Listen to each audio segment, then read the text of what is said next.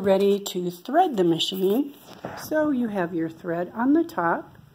You put it through this guide first.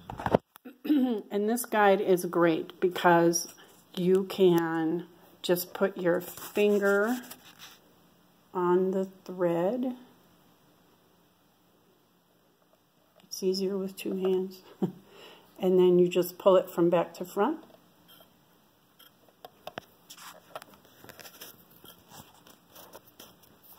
And it snaps right in there.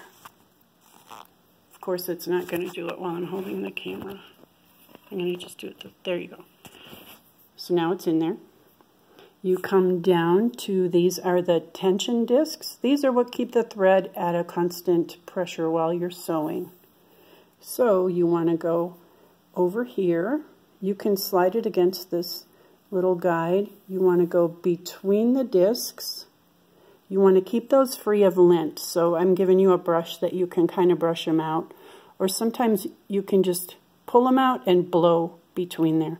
Don't use compressed air because on an older sewing machine, compressed air will cause rust because there's condensation.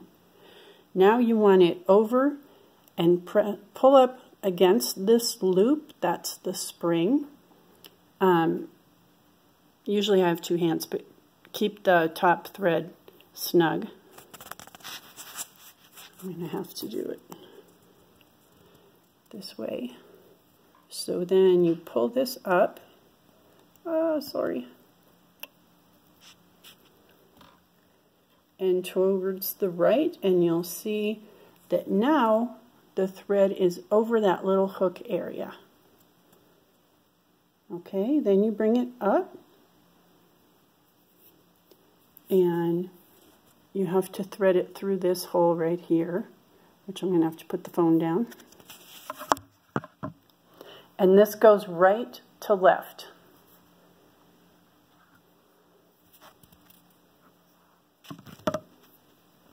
Just like that. And I printed a manual for you, so there is a threading diagram. Oh, I need to clean that out a little better. There is a threading diagram. Here's how to wind bobbin and a diagram for how to thread the machine, which is extremely helpful. And then you come down to this guide right here. And you can just snap it right in there. Then you come down here. There's a little kind of a spring loop right here. Go. Goodness, I am not left-handed, I'm sorry. Go there like behind it and then pull it around there so that it comes through that loop. Then come down here and you want it to go in this slit.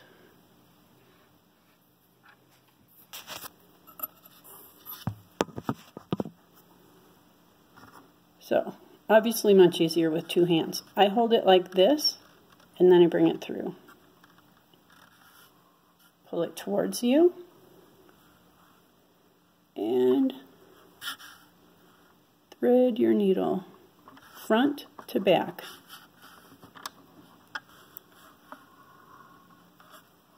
And pull it off to the left. And when you first start sewing,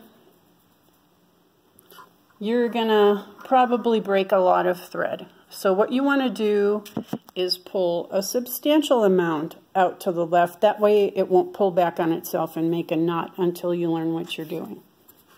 So now, these are extra uh, bobbins for you. Here is the brush that you can use to clean out the tension discs when there's no thread in there. Just brush lightly. Sometimes you'll get lint in there and then um, it'll act like it's not operating properly.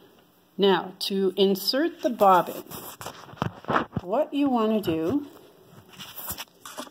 see if I can set up, open the door. You want your bobbin to come off counterclockwise. this way. So if you're holding it like this and you pull on it, it spins counterclockwise. You drop it in there, hence the reason this is called a drop-in bobbin. And then you can see this little slit right here. That's your lower tension, your bobbin tension. You don't usually need to change that at all. Um, that doesn't vary very much. Then you pull it backwards. And then there is a slit right here that's kind of a guide for the thread. So pull that in the opposite direction. Then you want to close the little door. Make sure you don't catch it in the snug part over here. Make sure you have room. Then you hold the needle thread. And as you hold the needle thread, you crank the wheel towards you. You always turn the wheel towards you, never away from you when there's thread in the machine. Now you pull it up and see there is, it looks like two threads here. That's because it has taken the bobbin thread. I don't know if you can see that in there. It's going to grab it and pull it up to the top. That's exactly how you get this started. You want both threads at the top before you begin to sew.